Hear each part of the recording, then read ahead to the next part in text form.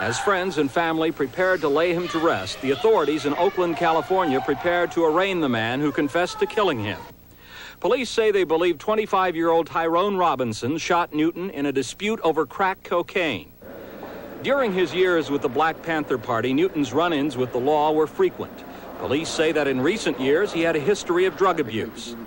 But many of those who attended the funeral today dispute the police account of Newton's death, portraying him as a victim of the white establishment. And I think that it's the complete uh, assassination that was started 20 years ago. The guest list at the funeral read like a who's who of black revolutionaries. H. Rap Brown, who now calls himself Imam Jamil Abdullah Al-Amin. Angela Davis. Huey Newton you know, symbolizes a whole era in the quest for African American equality. And inside the church, a warm welcome for Bobby Seale, who founded the Black Panthers with Newton in 1966. Power to the people, brothers and sisters. To his friends, Huey Newton is regarded as a hero, not a lawbreaker. And they want him remembered for the way he lived, not the way he died. George Lewis, NBC News, Oakland, California. As Huey Newton is buried today, nearly 2,000 people were at the Allen Temple Baptist Church this morning. And many of the original Black Panthers were among the mourners today. In fact, one mourner was heard to say, We're here to celebrate his life, not to discuss his death. News Center 4's Belva Davis was in Oakland for the funeral of Black Panther co-founder Huey P. Newton and is here now with more on the story. Belva. Bob and Sylvia, it was an emotional farewell for a man who, for better or worse, symbolized the black struggle for self-determination during the 60s and 70s. Attending the services today were the royalty of the Black Power movement of that time. Oakland gave a state funeral to a revolutionary today, Huey Percy Newton, the controversial co-founder of the Black Panther Party for Self-Defense. More than 2,000 people waited for up to three hours for a seat at the Allen Temple Baptist Church in East Oakland. The crowd filled the church and an adjoining hall.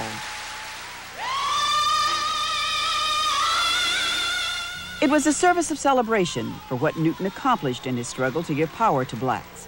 The recurring theme was a call not to let those outside the black community determine Newton's place in history. Bobby Seale donned his Panther beret for his remarks. The spirit of Huey P. Newton. You know, the spirit of Huey P. Newton was greater than the man's technology.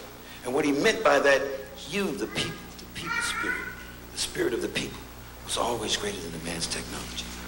Power to the people, brothers and sisters but there were also repeated references to his brushes with the law and his bouts with drugs. The service took on the feel of a political rally when a power failure forced the use of a bullhorn.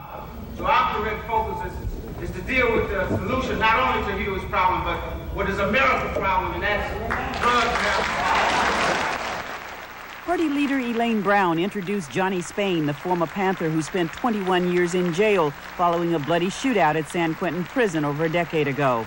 Former radical H. Rap Brown is now a black Muslim minister. He came from Atlanta for the service. Congressman Ron Dellums, still mourning for his friend, Texas Representative Mickey Leland, who died in a plane crash recently, called on the audience to take their grievance to Washington.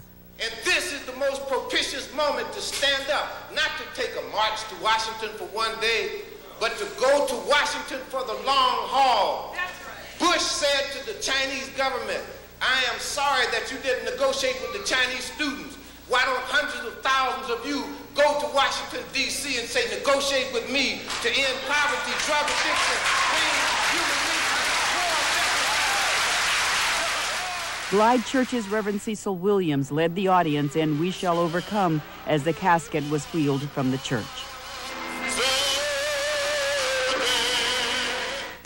Course, this is not the end to the Newton story. There's still the trial of the man Tyrone Robinson, accused of gunning Newton down following a drug dispute. But in spite of the cloudy ending to his life, clearly his death has ignited a spark in the black community, which says it's now time to fight harder in the war against drugs as well as against racism. Bob, Sylvia? It strikes me as so many names that used to be household words. I know, and it was interesting to see the young people there being introduced to these people today, huh. seeing them as idols and wanting to get to know them. Remarkable. Well, I think this next story reflects the occasion. Outside the church, crowds began to gather early this morning Thousands of people tried to get into a building that held only 1,200 chairs. News Center 4's Vic Lee has more. Me, but unto also. Mourners gathered to pay their respect to former Black Panther leader Huey Newton. Lillian Combs came all the way from Nevada. I mean, I'm lucky, okay, that um, we had people like, okay, like, like Huey, you know, Jesse Jackson, Dr. King. I mean, now there's no black heroes. By 10 o'clock, the chapel doors closed, leaving a huge crowd to listen to the service on loudspeakers outside. VIPs, including Congressman Ron Dellums, activist H. Rap Brown, and football star Jim Brown, were ushered in through the back. The activists agreed. Newton symbolizes an era for the black movement. As we mourn him, uh, we celebrate the legacy that he left us of struggle and resistance. He challenged American society like most folks did not. And so, therefore, he will go down in history as one of our most important black leaders who tried to turn the time clock of America as fast as possible, but America could not accept. Just before the service started, the crowd outside grew restless, trying to get in the gate. Former Black Panther founder Bobby Seale came outside to quiet them. Everyone just cannot get in, and I would appreciate it very much, me, old brother Bobby Seale, for you please to try to work with the monitors and the other people who are trying to see to it that we have an orderly processional session as Huey would have even loved the session. During the funeral service, as the crowd grew, they took to the streets, marching and chanting. Angry protesters blamed the FBI for Newton's murder.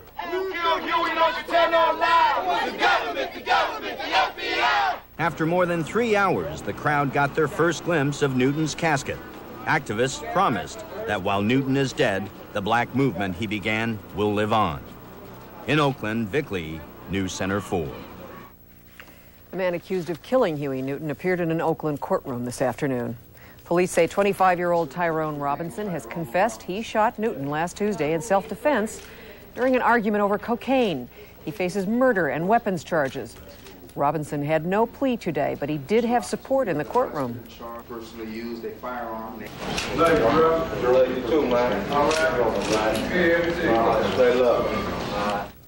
Robinson's attorney says that he will enter a plea on September 5th.